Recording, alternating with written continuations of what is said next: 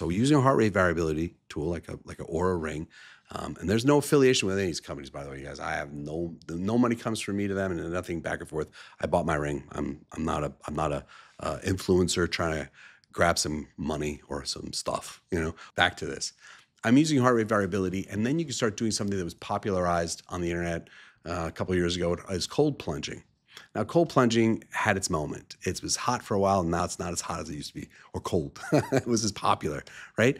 The thing about it, though, is why were people doing it? A lot of people hype it make it out to be something more magical than it really is. Heart rate variability can be tested when you're cold plunging. So what you do is you you you get into a cold plunge, you jump into these one of these cold. There's a lot of places that offer cold plunging suites, but you do cold plunging and you see what your heart rate variability is doing.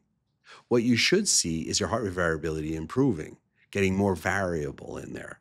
The sympathetic is being downregulated. That's great. Now, some of you, I know women, um, don't like jumping in cold water. I get you. I'm with you. You could do, this is awful. Face plunging in cold water too. Get a bowl of ice water, put your face in it for a little bit. That helps, but it's not popular. Another one is just cold packs, cold packs on your neck right here right at the vagus nerve, right there, at that ganglion right there. Just keep it there.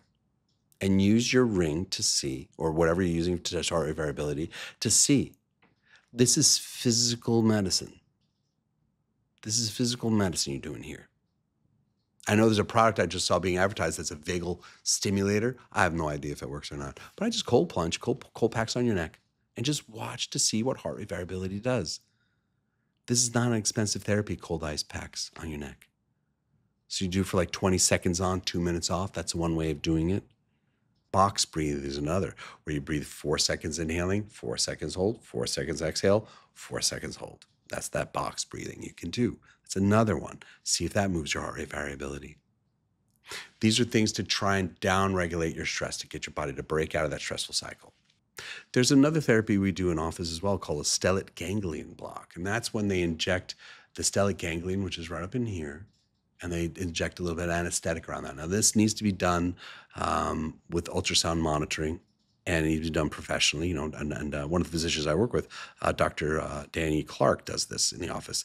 Like, well, Brendan, why do I want that?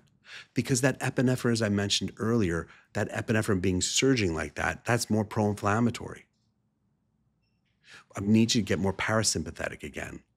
That parasympathetic, we're going to be more relaxed.